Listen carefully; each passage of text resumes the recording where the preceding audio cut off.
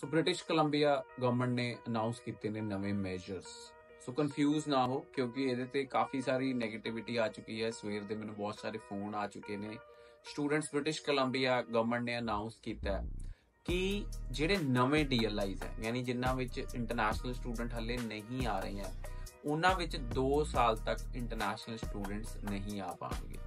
ਸੋ ਹੱਲੇ ਕੋਈ ਵੀ ਜਿਹੜੇ ਪੁਰਾਣੇ ਕਾਲਜਸ ਚੱਲ ਰਹੇ ਸੀ ਜਾਂ ਗਵਰਨਮੈਂਟ ਕਾਲਜਸ ਚੱਲ ਰਹੇ ਸੀ ਉਹਨਾਂ ਵਿੱਚ ਇੰਟਰਨੈਸ਼ਨਲ ਸਟੂਡੈਂਟਸ ਐਨਰੋਲ ਹੋ ਸਕਣਗੇ ਔਰ ਉਹਨਾਂ ਨੂੰ ਪੋਸਟ ਗ੍ਰੈਜੂਏਟ ਵਰਕ ਪਰਮਿਟ ਵੀ ਮਿਲਣਗੇ। ਸੋ ਸਟੂਡੈਂਟਸ ਕਾਫੀ ਸਾਰੇ ਸਟੂਡੈਂਟ ਇਸ ਚੀਜ਼ ਲਈ ਕਨਫਿਊਜ਼ਡ ਨੇ ਕਿ ਜਿਹੜੇ ਪ੍ਰਾਈਵੇਟ ਕਾਲਜਸ ਪਹਿਲਾਂ ਚੱਲ ਰਹੇ ਹਨ ਜਿਵੇਂ Alexander college Columbia college Acsenda college ਹੋਰ ਵੀ ਜਿਹੜੇ ਕਾਲਜਸ ਹੈਗੇ ਆ, ਕਿ ਉਹਨਾਂ ਵਿੱਚ ਵਰਕ ਪਰਮਿਟ ਮਿਲੇਗਾ ਕਿ ਨਹੀਂ ਮਿਲੇਗਾ ਉਹਨਾਂ 'ਚ ਬਿਲਕੁਲ ਵਰਕ ਪਰਮਿਟ ਮਿਲੇਗਾ ਗਵਰਨਮੈਂਟ ਯੂਨੀਵਰਸਿਟੀਜ਼ ਚੱਲ ਰਹੀਆਂ ਜਿਵੇਂ Kwantlen polytechnic university university Canada West LaSalle college and ਇਸ ਤੋਂ ਇਲਾਵਾ ਬਹੁਤ ਸਾਰੇ ਕਾਲਜਸ ਹੈਗੇ northern light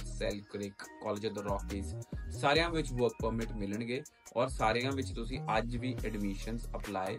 ਕਰ ਸਕਦੇ ਹੋ ਸੋ ਸਟੂਡੈਂਟਸ ਲੈਂਡਮਾਰਕ ਇਮੀਗ੍ਰੇਸ਼ਨ ਬਹੁਤ ਸਾਰੇ ਬ੍ਰਿਟਿਸ਼ ਕੋਲੰਬੀਆ ਚ ਡਾਇਰੈਕਟ ਕਾਲਜਸ ਰਿਪਰੈਜ਼ੈਂਟ ਕਰਦਾ ਤੁਸੀਂ ਸਾਨੂੰ ਕਾਲ ਕਰ ਸਕਦੇ ਹੋ 9041390412 ਤੇ